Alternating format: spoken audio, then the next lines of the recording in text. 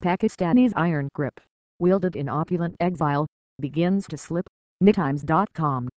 Subscribe. Digital slash home delivery. Log in. Register now.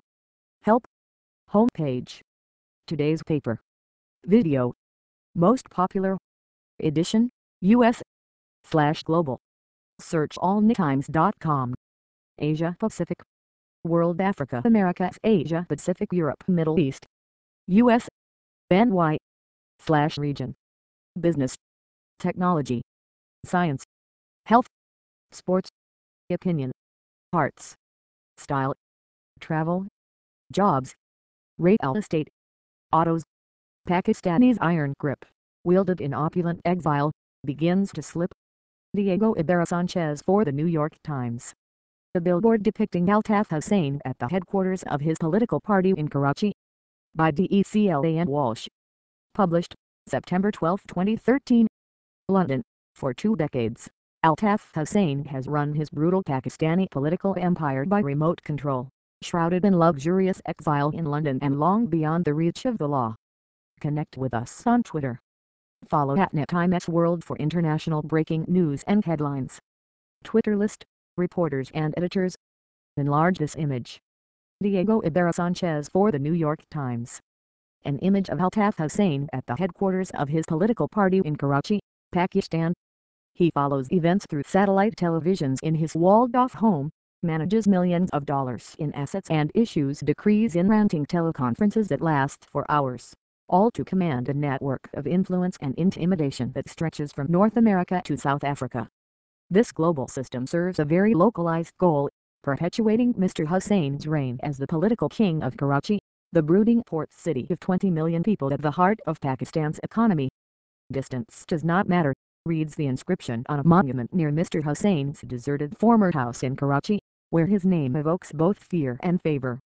Now, though, his painstakingly constructed web is fraying. The British murder investigation has been closing in on Mr. Hussain, 59, and his party, the Muttahida Qawmi movement. His London home and offices have been raided, and the police have opened new investigations into accusations of money laundering and inciting violence in Pakistan.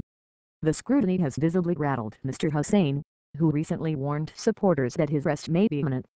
And in Karachi, it has raised a previously unthinkable question, is the end near for the untouchable political machine that has been the city's linchpin for three decades? This is a major crisis, said Irfan Hussain, the author of Fatal Fault Lines, a book about Pakistan's relationship with the United States. The party has been weakened, and Altaf Hussain is being criticized like never before. Mr. Hussain's right offers a striking illustration of the political melee in Pakistan. His support stems from the Mohajirs, Urdu-speaking Muslims whose families moved to Pakistan after the partition from India in 1947, and who make up about half of Karachi's population. Since the 1980s, the Muttahida Qawmi movement has fiercely defended Mohajir interests, and in turn it has been carried to victory in almost every election and to an enduring place in national coalition governments as well. Mr. Hussain fled to London in 1992 when the movement was engaged in a vicious street battle with the central government for supremacy in Karachi. The British government granted him political asylum and, ten years later, the British passport. London has long been the antechamber of Pakistani politics, where self-exiled leaders take refuge until they can return. The former military ruler Pervez Musharraf lived here until recently, and the current Prime Minister, Nawaz Sharif, lived here until 2007.